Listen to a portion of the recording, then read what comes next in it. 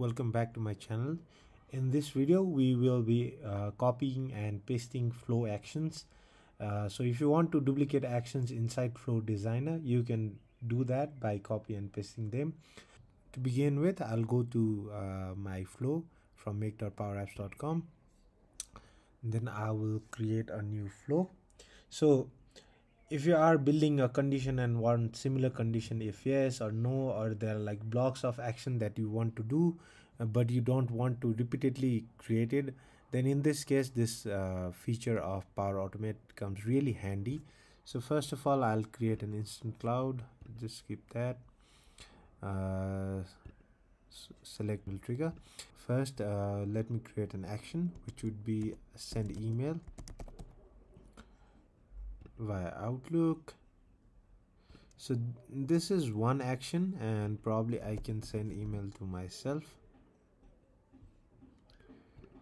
And then i can put subject body again.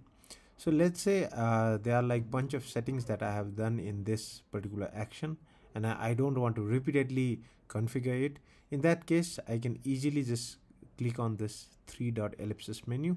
Click on copy to my clipboard and in new step you will get this listed on your email. And I can again click it. So we have now two uh, same action with the same configurations. Uh, but this is a very simple use case but there can be complicated use case. For example uh, let's let's say there are a bunch of uh, multiple actions that I need to repeatedly create that in that case probably having this feature comes really handy. So first off uh, let's uh, let's create a scope.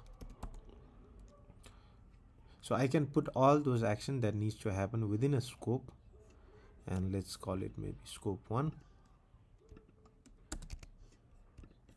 so let's say I want to uh, list contacts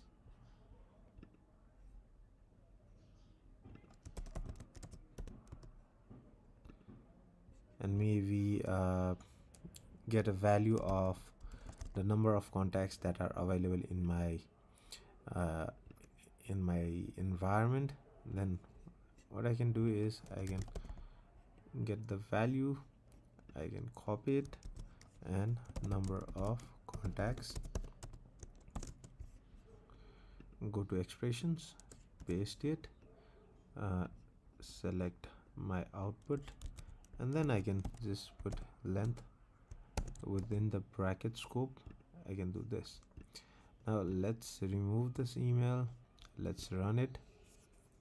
This is one scope but maybe uh, we have bunch of other actions that are similar to do these two action.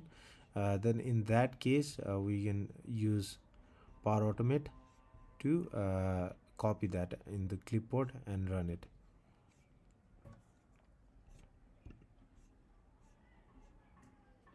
let's see. So this scope is done right? And we have five contacts. Now let's say uh, I want to do similar thing uh, for accounts. Then I can copy to my clipboard add new steps go to my clipboard uh, copy scope 1 and maybe uh, call it rename it to scope 2 open it maybe uh, if I don't want it for contacts I can change it to accounts. And if you see uh, the name is changed to list rows 2 which was initially list rows. And I also put a function here and if you hover around it you can see that the function uh, expression has also changed to, to list rows 2 so it will work similarly for accounts as well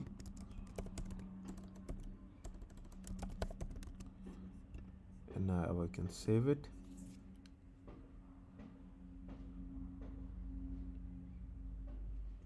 And test it.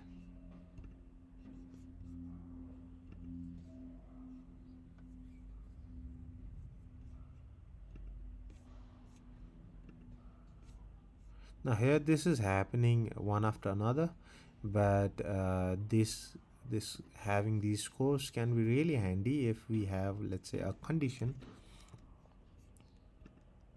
And in condition let's say I have a value called entity. So if I come here and let's say entity equals to uh, contact then I want to run this scope if entity is not contact then I want to run this scope. Now I can test it. Let's just manually test it because I don't I need to give the value of. So uh, it's asking me which entity I'm putting contact. I'll run the flow. Done